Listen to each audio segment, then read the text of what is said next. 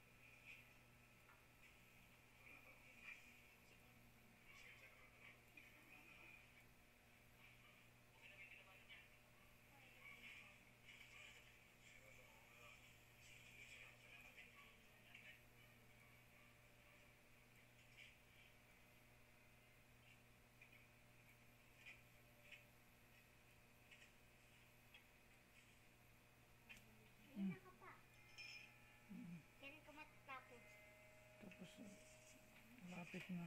10 minutes na lang tapos na to.